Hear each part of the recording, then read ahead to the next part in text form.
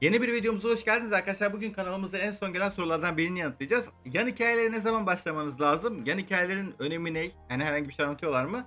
Bunlardan bahsedeceğiz. Ancak buna başlamadan önce çok ufak bir şey söyleyeceğim. Arkadaşlar Akdeniz'le alakalı görmek istediğiniz herhangi bir şey varsa rehber olabilir, operatör detayı olabilir, yani hikaye olabilir. Yorumlarda mutlaka yazmayı unutmayın. Çünkü bütün yorumlara bakıyorum. Ve Akdeniz'de içerik üretmesi zor bir oyun. O yüzden sizin istediğiniz şeylere yoğunlaşmak istiyorum. Şimdi bunu burada bıraktıktan sonra yan hikayeleri geçelim. Arkadaşlar yan hikayeler önemli mi derseniz evet. Hatta bazı yan hikayeler hani hikayeye çok fazla şey katıyor. Mesela To Walk in the Dust yani ana hikayede gördüğünüz Salt karakterini çok daha iyi tanımanızı sağlıyor. Olmazsa olmaz diyebilirim. Side story kısmı biraz daha hani yan karakterlerle ilgili diyebiliriz ama özellikle Intermez'deki Dark Knights Memory ve Walk in Dust hikayeye çok fazla içerik katan şeyler.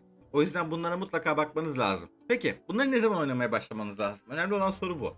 Arkadaşlar Akt 1'in kısmı yani Roaring Trail'i bitirdikten sonra Akt 2'deki olaylar arasında 2 senelik bir süre var. Özellikle Side Story'deki çoğu olay bu 2 senelik vakitte oluyor. Sizin de bu yan hikayelere başlamanız gereken süre tam olarak o zaman.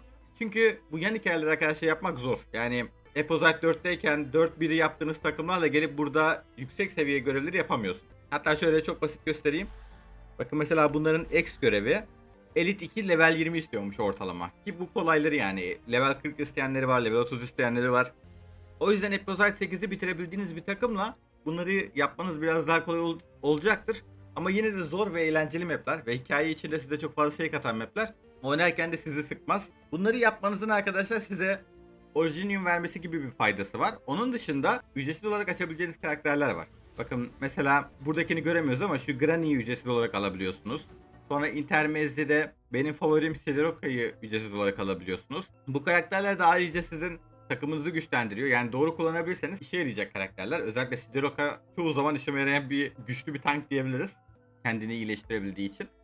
O yüzden o konuda diyeceklerim bu kadar. He, hangi hikayeyi okuyup okumayacağınız bu arada size kalmış. Yani şey yapabilirsiniz. Atıyorum bu hikayeyi okuduktan sonra direkt olarak buna devam etmenize gerek yok. Farklı bir tane atlayabilirsiniz.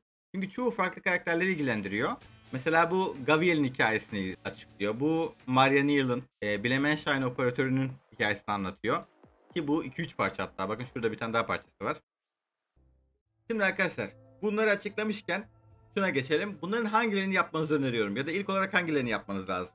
Arkadaşlar bir kere Intermez'de Dark Knights Memory ve Walking Dust mutlaka yapmanız lazım. Hem hikaye açısından çok fazla şey katıyor size. Hem Dark Knights Memory'den Sidoroka'yı alıyorsunuz. Hem de yani daha fazla Cultist ve W var. Kim görmek istemez ki bunları. Diğer iki tanesi biraz zor. O yüzden onları sonraya bırakın ama ilk ikisini mutlaka yapın. Bu side story'lerde de yine hikaye için önemli karakterler var. Mesela Maria Neal oynadığınız zaman e, Neal ailesinin durumunu anlıyorsunuz. Şövalyelerin şu anki Aknaş Üniversitesi'ndeki durumunu anlıyorsunuz.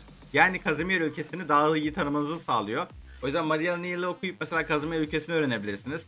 Ondan sonra Great Chef Returns'ı oynayıp mesela Gaviel'in hikayesini öğrenebilirsiniz. Hem Gaviel hem Eunectes var bu arada. Eunectes'i biliyorsunuz sevi favori karakterlerimdendir. İkisini de görme şansınız oluyor. Onun dışında kısacası bütün hikayeleri. Hepsini okumanız lazım. Ama bunlardan başlayabiliriz. Bunları bitirdikten sonra böyle daha zor Undertales ve Spiritual Nevis mapine falan başlayın arkadaşlar. Daha erken başlamayın. Akıl sağlığınızı korumak için.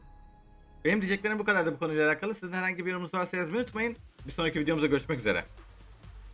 Ayrıca şu anda ismini görmüş olduğunuz kanalımızdaki videoların oluşturulmasına destek sağlayan üyelerimize teşekkür ederim. İsterseniz siz de videoyu beğenerek ya da yorum yaparak bize destek olabilirsiniz. Gelecek videomuzda görüşmek üzere.